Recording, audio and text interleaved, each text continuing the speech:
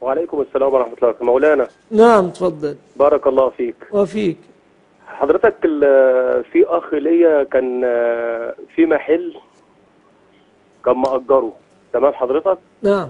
فصاحب المحل عارض عليه مبلغ. هو مأجره إيجار قديم. اللي هو أي 59 سنة. فعرض عليه مبلغ حلو يعني. مأجره. كان دفع خلو رجل عند التأجير؟ نعم نعم نعم نعم. افهم نعم. كلامي. كان دفع مبلغ. كان دافع مبلغ مقدم إيجار أو خلو رجل. نعم يا فندم نعم نعم حضرتك. فهمني خلو ولا مقدم إيجار؟ لا مقو... مقدم إيجار. يعني مقدم إيجار كان بيخصم. نعم.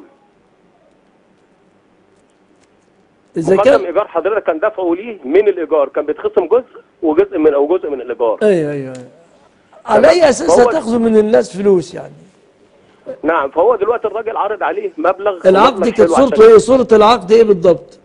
سنة كام؟ إيجار إيجار حضرتك. أيوه سنة كام سنة. كام العقد. كان كان تقريبا كان دافع له 30000 جنيه. لا لا سنة كام؟ الإيجار ده كان سنة كام؟ أيام جمال عبد الناصر ولا؟ لا لا لا لا لا لا, لا الايجار حضرتك. لا بالنسبة للإيجار اللي هو المحدد اللي هو 59 سنة ده, ده يعني يعني مكتوب مكتوب في العقد 59 سنة؟ نعم نعم نعم نعم. وبعدين أخوك الآن الرجل يريد أن يخرج أخاك قبل 59 سنة.